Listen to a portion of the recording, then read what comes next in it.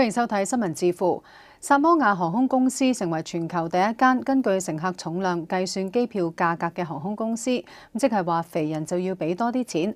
咁其實之前已經有唔少嘅航空公司透過實施唔同嘅措施，向肥胖乘客收取附加費㗎啦。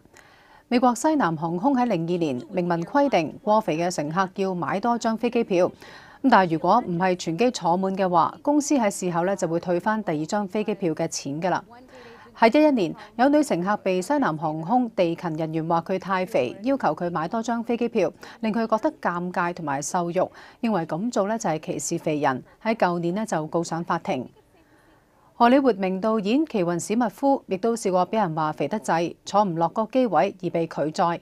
佢事後喺 Twitter 就批評西南航空。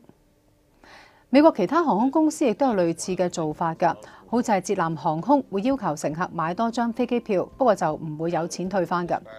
達美航空嘅職員就會盡量揾多個冇人嘅位，如果機位好爆呢，乘客就可能會被勸落機，喺下一班機買多個位嚟坐。但係喺加拿大咧就有唔同嘅講法啦，咁佢哋認為黐肥咧就係殘疾嘅一種，咁禁止航空公司要求過肥嘅乘客買多張飛機票。好似係加拿大航空咁啊，乘客只要出示醫生紙咧，公司就會為乘客提供多個免費座位添。咁怕俾人話歧視，咁可以參考一下法國航空嘅做法啦。咁佢哋一樣咧係會要求太肥嘅乘客買多張飛機票㗎，不過就解釋咧就係基於安全理由。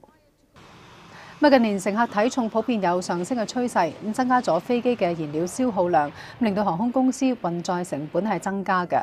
為咗慳錢啦，航空公司可謂係出盡法寶。印度航空咧甚至叫旗下嘅空中服務員減肥，咁令到員工非常之不滿。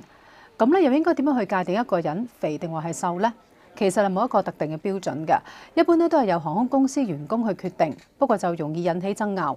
西南航空就列明啦，如果乘客個身比兩邊扶手闊嘅話，就算係肥㗎喇。一般航空公司採用嘅機種咧，機位兩邊扶手約莫相距係四十三厘米左右，部分航機嘅機位就會闊一啲，有四十五至到四十七厘米嘅。今集新聞智庫講到呢度啦。